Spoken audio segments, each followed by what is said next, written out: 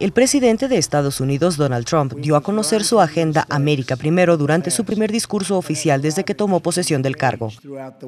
Trump comenzó el discurso condenando las recientes amenazas contra los centros comunitarios judíos y el tiroteo de la semana pasada contra dos hombres indios en Kansas City y pidió al país unirse contra el odio y el mal en todas sus formas.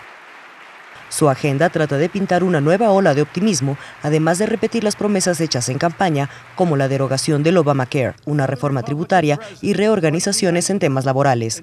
También prometió tomar acciones firmes contra el terrorismo islámico y prometió apoyar firmemente a la OTAN. Con información de la oficina en Washington DC, Estados Unidos, Noticias Xinhua.